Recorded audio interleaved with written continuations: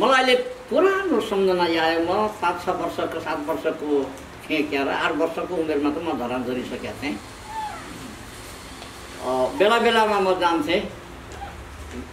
गएको बेलामा हतुवागढीबाट धेरै राई साथीहरू आउनुहुन्थ्यो।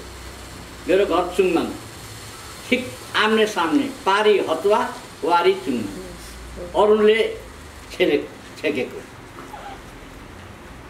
अनि मेरो बुवा अनि उनीहरूको मूल पेसा चाहिँ अदुवा बेच्ने थियो।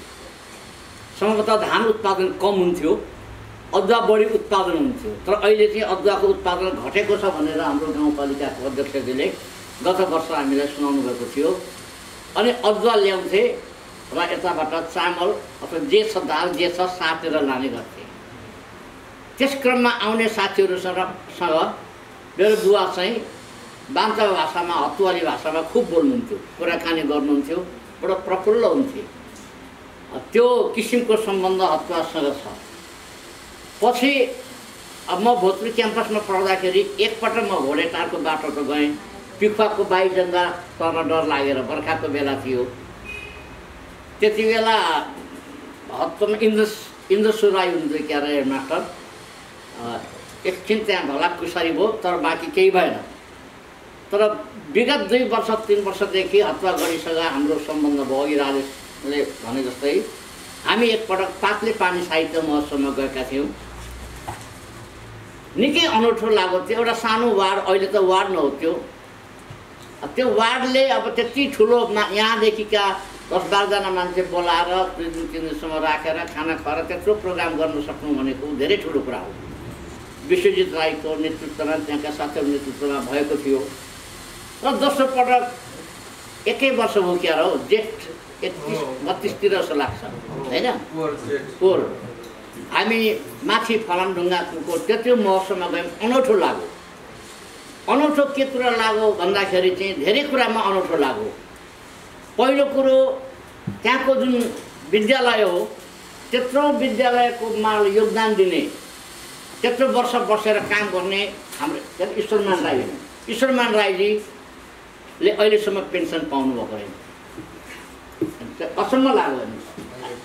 अहिले सुरु धेरै दुःख लागिरहेको थियो।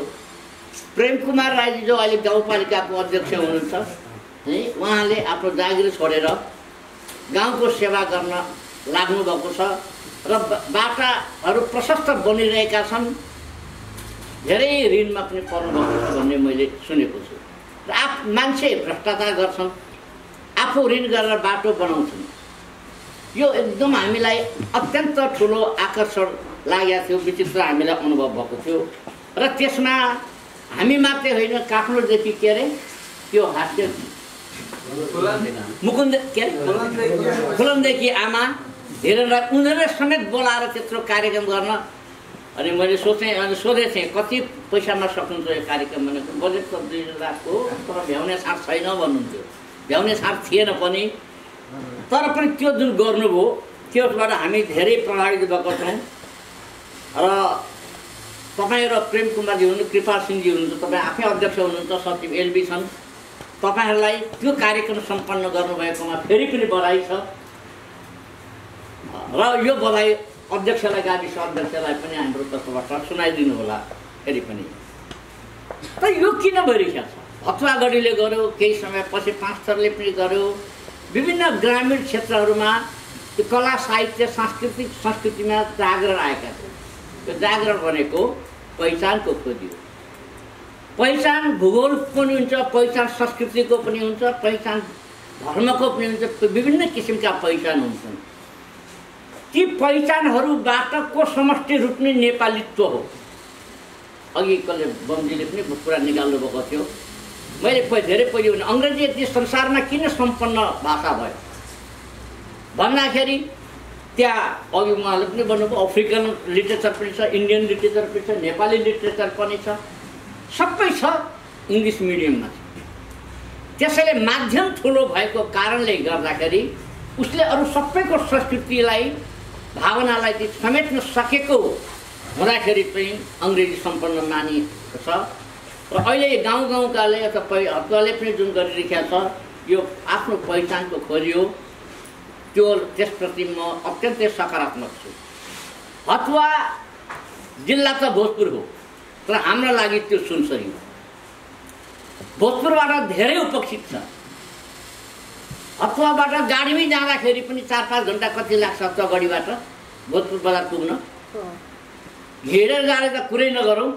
त्यसैले भोजपुर जिल्लाका मालिक मानिसहरूले पदाधिकारीहरूले हतुवालाई सम्झिरहेका छैन। हतुवालाई कम महत्त्व दिएका छन्। त्यसैले पनि हतुवा गढीले आसपासका क्षेत्रहरूलाई समेत समेटेर जुन कार्यक्रमहरू गर्दै गएको छ त्यसको लागि हार्दिक धन्यवाद छ। पुस्तक निकाल्नुभयो। मैले यत्रो पुस्तक निस्किन्छ भन्ने सोचेको थिइनँ। एक त गाउँपालिकाको खर्च होला।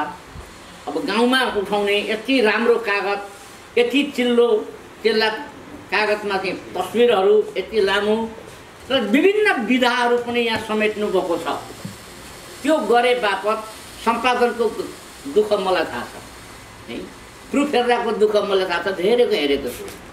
त्यो त्यसो गर्ने गर्नुपर्छ भनेर उत्तराज दिने होला कृपा सिंह राईजी अध्यक्ष जो प्रकाशक हुनुहुन्छ र गर्ने श्री सिसा राईजी र उहाँको टिमलाई पनि हार्दिक धन्यवाद छ। अन्तिम कुरा। अब एउटा कुरा अहिले यो सेमुना हतवाली सेमुना सिली सिली र सिली केही पढेँ मैले यो हेर्दाखेरि मलाई तिनवटा शब्दको बारेमा अलिकति थोरै व्याख्या गर्न मन लाग्यो। हाम्रो जनधारणा किम्बदन्ती भनौँ एउटा मुन्धुम र मिथक। यी यिनीहरूको बिचमा गम्भीर सम्बन्ध हुन पनि सक्छ नहुन पनि सक्छ। म यो हताके प्रसङ्गमा आउँदैछु। म अहिले दुङ्गाली ग्रामर लेख्ने तयारीमा छु। करिब करिब पचहत्तर प्रतिशत सकिएको छ। यो कोरोनाको अवधिमा। यस बिचमा म दुङमा पनि गएँ। चार पाँच दिन बसेर आएको सामग्री कलेक्सन गरेर। र हाम्रो त्यो दुङ्गालीको रिसर्च गर्नेहरू अथवा राई भाषाका पारखीहरू जस्तै डाक्टर नवल किशोर राईसँग पनि मेरो कुरा हो।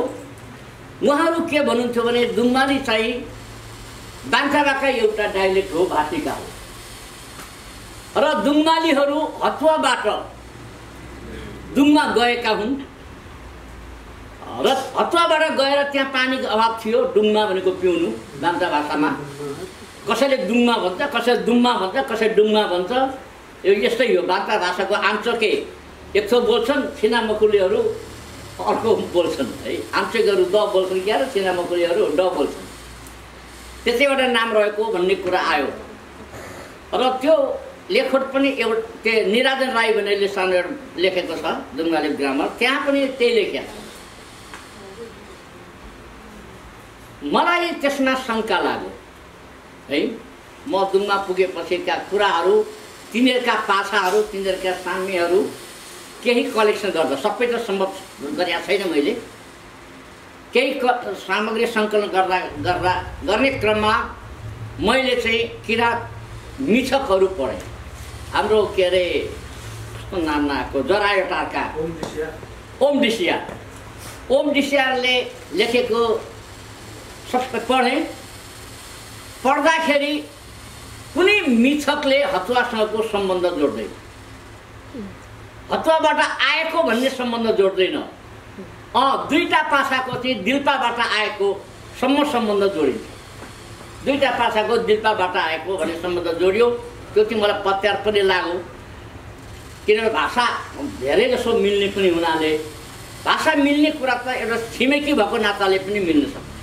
है यसकारण यी सेमुना गीतहरूको यो गीती कुरा यो सिली र सिली नाच्ने तरिका र यो भाका त फरक होला त्यति मात्रै कुरा होइन। त्यसका भित्रका ती उसकै भाषाका बान्धवी भाषाका गीतहरूको अध्ययन गर्ने हो भने हतुवा गढीमा कहाँबाट आएका हुन्? यिनीहरूको आगमन कसरी भएको थियो यिनीहरूको संस्कृति के थियो त्यो कुरा पनि बुझ्न बुझाउन यसले मद्दत गर्दछ भन्ने मलाई लागेको छ। र दोस्रो दोस्रो कुरो हथुवालाई सम्झिँदा अटल सिंहलाई मात्रै सम्झेर हुँदैन। अटल सिंह त अन्तिम राजा हुन्। त्योभन्दा अघि कति राजाहरू भए? हेर्नु सामन्तवादमा जहाँ राजनीतिको असर छ सामन्तवादी संस्कार छ सामन्तवादी राजनीति छ त्यो सामन्तवादी युगमा युद्ध भइरहन्छ। अनि राज्यको सिमाना पनि तलमाथि परिरहन्छ। कहिले यता छ नेपालको पनि कति सरेको थियो। होइन? त्यस्तो क्रम भइरहन्छ। त्यसलाई कुनै पनि पक्षले नकारात्मक ढङ्गले हेर्नुहुन्न। किनभने नेपालको विकास हुनमा यहाँ स्या र सेनको मात्र योगदान छैन। यहाँ किराँत कालको पनि इतिहास छ। काठमाडौँका केही नेवारहरूमा किराँतको अवशेष पाइन्छ त्यसैले अहिले अहिलेको विश्वमै चर्चित छन् यो किराँत भाषाको अध्येता भन्ने भान्ड्रिम भन्ने। भान्ड्रिमले नयाँ शब्द क्वाइन गरेका छन्। मैले त्यसलाई मन पराएको छु। यो यहाँका किराँतीहरू र दोलखा र बनेपाका नेवारहरू। काठमाडौँका होइन। काठमाडौँको नेवार चाहिँ क्रस हो। लिङ्ग्विस्टिक ग्रुप मात्रै भाषिक समूह मात्रै हो जातीय समूह होइन। त्यहाँ विभिन्न किसिमका नस्लहरू छन्। तर दोलखा र बनेपाका चाहिँ मा चाहिँ त्यो किराँती भाषा पनि केही अंशमा संस्कृति पनि सुरक्षित छ। त्यसैले इन्क्वेस्ट अफ ग्रेट किराँती भन्ने एउटा आर्टिकल निकै पहिले लेखेका थिए। अर्थात् महाकिराँतीको खोजीमा भन्ने। त्यो मैले आफूले राई भाषाको पिएचडी गर्दाखेरि होइन अहिले पनि विद्यार्थीलाई गर्दाखेरि पनि म महाकिराँती भन्ने गर्दछु है महाकिराँती शब्दभित्र यी हाम्रा अहिलेका किराँत समुदाय मात्रै होइन त्यो भन्दा अलिक परका पनि हामीले किराँत नठानिरहेकाहरू पनि त्यहाँ समेटित है र यस्ता कुराहरूको अध्ययनका लागि चाहिँ यो हतुवागढी साहित्य दर्पण साहित्य दर्पण मात्रै भन्ने पनि यहाँ एउटा अनुसन्धानात्मक लेख पनि छ है र यो मुन र मिथकहरू बडो उपयोगी हुन्छ भन्ने मलाई लागेको छ। र तपाईँ शिक्षित व्यक्तिहरू त्यसतर्फ लाग्नुभएको छ। यो बाहुन बोल्नेले खस बोल्नेले पर्वतीय बोल्नेले नेपालीले बोल्नेले जान्ने होइन। होइन? गर्नुपर्ने त हामीले पनि हो तपाईँहरूले पनि हो। मूल दायित्व तपाईँहरूकै हो। हामीले त्यसलाई कति सकिन्छ सहयोग गर्ने सपोर्ट गर्ने हो। तर हामीले चाहिँ नगर्ने भन्ने कुरा होइन। एकपल्ट मैले पिएचडी गर्ने क्रममा के भयो भने आठपरे राई भाषामा पिएचडी गर्न टुङ्गो गरेँ मैले। युनिभर्सिटीले मलाई सजिलै दिएन। किन दिएन? म नेपाली पढाउने बाहुनको छोरो संस्कृत व्याकरण भएको। कसरी हुन्छ यो हुँदैन अनि मैले भने ती कुहिरेहरू आएर तामाङको विभिन्न बान्सवाको कोइचको सुनवारको सबैको गर्दा हुन्छ यीको माग म भूमिपुत्रले गर्दा हुँदैन। उनीहरूले चाहिँ पिएचडी गर्न मिल्ने यता यता ठेली लेख्न मिल्ने। मैले नमिल्ने हुँ। कहीँ हुन्छ? भन्ने किसिमका बहसहरू हुँदै गएपछि अन्तत्वगतवा स्वीकृत भएको हो। होइन? यसकारण भाषा सबैको सम्पत्ति हो। संस्कृति सबैको सम्पत्ति हो। हिजोकै संस्कृतिबाट हामी वर्तमानमा आइपुगेका छौँ। यो संस्कृति परिवर्तनशील हुन्छ। अब हामीले अब कतिपय अघि चुलोको कुरा उठो धेरै कार्यक्रमबाट म गएको छु। अब धेरै साथीहरू अब अहिले अमेरिका छन् बेलायतमा पुगेका छन् खाडी मुलुकमा पुगेका छन्। त्यहाँ सुख रुम त हुन सम्भव छैन। त्यहाँ तिन चुला राखेर त गर्न सम्भव छैन। कति सहरीकरणबाट आएका छन् कतिले चाहिँ घरको एउटा विशेष कुनामा राखेका छ पितृ चुलो भनेर होइन? तर सबैले सम्भव गरेका छैन। त्यो के हो त भन्दाखेरि उल्लेख अभिलेखन हुनुपर्छ। त्यसको महत्त्व लेखिनुपर्छ। कस्तो रहेछ भन्ने थाहा हुनुपर्छ। तर हामीले जाने चाहिँ अग्रगमन नै अब हामी त्यो धामी झाँक्रीको युगमा पुग्न सक्दैनौँ। तर त्यस्तो थिए भने चाहिँ इतिहास हो। त्यसको चाहिँ जगर्ना हुनुपर्छ। त्यो जगर्ना गर्ने क्रममा हतुवागढीका साथीहरू अन्य क्षेत्रका साथीहरू लाग्नुभएको छ। उहाँहरूलाई हार्दिक धन्यवाद छ।